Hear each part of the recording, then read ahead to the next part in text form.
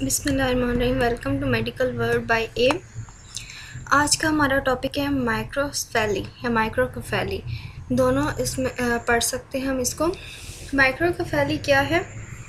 ये ऐसी कंडीशन है जिसमें बच्चे का सर जो है नॉर्मल से छोटा रह जाता है। और ये किस वजह से होता है? During pregnancy.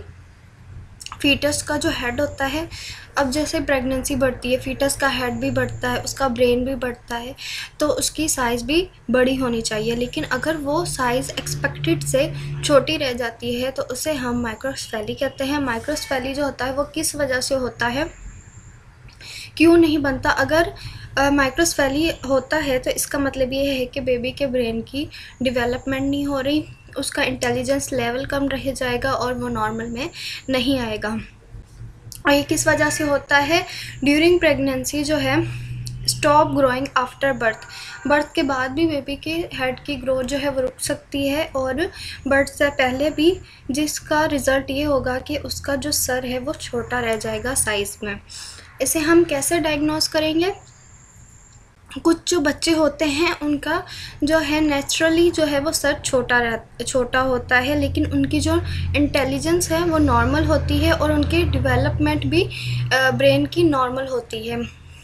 लेकिन जो कुछ बच्चों का जो ब्रेन जो है वो हेड जो है वो छोटा रह जाता है, उनकी जो है नॉर्मल इंटेलिजेंस नहीं होती और उनकी ब्रेन की डेवलपमेंट भी नॉर्मल नहीं होती, वो कम होती है। जब हम अर्ली डायग्नोस करते हैं माइक्रोसफेली को तो इसे हम अल्ट्रासाउंड पे डायग्नोस करते हैं। अल्ट्रासाउंड जो है, एक पॉसिबिलिटी है बेस्ट पॉसिबिलिटी है डायग्नोस की। इसे हम सेकेंड ट्राइमेस्टर में डायग्नोस करते हैं 18 टू 20 वीक्स में। 18 टू 20 वीक्स के दरमियान में वीक्स ऑफ़ गेस्ट्रेशन में हम इसे देखते हैं डायग्नोस करते हैं और हम इसका कैसे अंदाज़ा लगा सकते हैं कि फ़ीटस का जो हेड है, वो एक्सपेक्टेड से छोटा है स्मॉलर है? तो जब हम बीपीटी और एच सी हेड सर्कमफ्रेंस और बाय पेरिटल डायामीटर को जब देखते हैं तो अगर उनसे फीमर लेंथ और A C abdominal circumference standard deviation तीन हफ़्ते जो है कम आता है B P D H S से ए सी और एफ़ एल का तीन हफ़्ते कम आता है स्टैंडर्ड एविएशन तीन वीक्स कम आते हैं तो इसका मतलब ये है कि बेबी के जो हेड की है, वो ग्रोथ नहीं हो रही, उसको माइक्रो फैली है। इसके काजेज़ क्या हैं, ये किस वजह से होता है? जब प्री ये प्री नटल इन्फेक्शन की वजह से होता है एक कंजेनिटल डिसऑर्डर है। किस वजह से होता है? ये exposure to the Zika virus Zika virus की वजह से ये होता है। अब सवाल ये है कि जीका वायरस जो है वो आता कहाँ से है? स्पेशली फ़र्स्ट ट्राइमेस्टर में प्रेगनेंसी में जीका वायरस जो है एक मच्छर है। अगर वो मदर को काटता है तो उस वजह से जीका वायरस जो है मदर से बेबी में ट्रांसमिट होता है। जिसकी वजह से जिसका रिज़ल्ट जो है माइक्रोकफेली होता है, और इसका रिज़ल्ट जो है स्मॉलर हेड होता है। अगर बेबी का हेड वैसे ही छोटा है और कहीं कंजेनिटल मेल फॉर्मेशन नहीं है तो आ, उनकी इंटेलिजेंस जो है वो नॉर्मल होगी। अगर बेबी के हेड के अलावा बहुत सारी congenital malformation malformation जैसे है।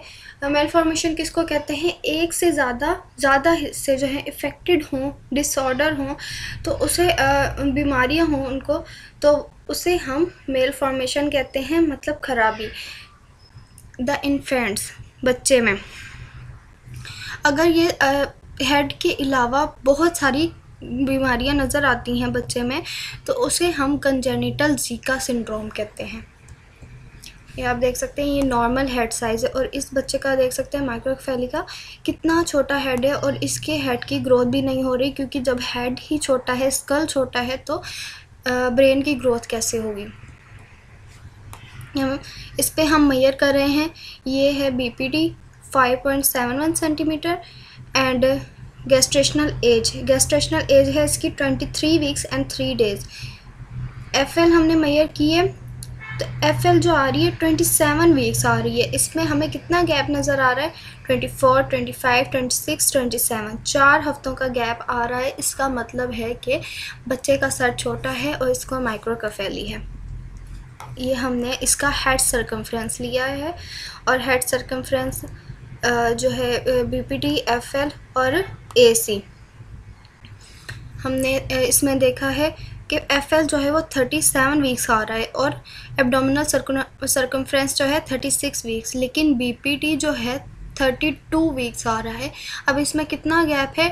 Thirty three thirty four thirty five thirty six चार पाँच हफ्तों का इसमें गैप आ रहा है। इसका मतलब है कि माइक्रोकोफेली है। ये आप देख सकते हैं। हेड स्मॉलर है। इससे जब हम मैयर करते हैं, तब हमें पता चलता है बीबीटी हेड सरकमफ्रेंस को। जब हम मैयर करते हैं एफ़ एल और ए सी के साथ, तब हमें कंपैरिजन में पता चलता है कि बच्चे का हेड छोटा है। थैंक यू फॉर वाचिंग अगर आपको वीडियो अच्छी लगी है तो please like and subscribe my channel और अगर आप न्यू आप स्टडी के लिहाज से किसी टॉपिक पे वीडियो चाहते हैं तो प्लीज़ कमेंट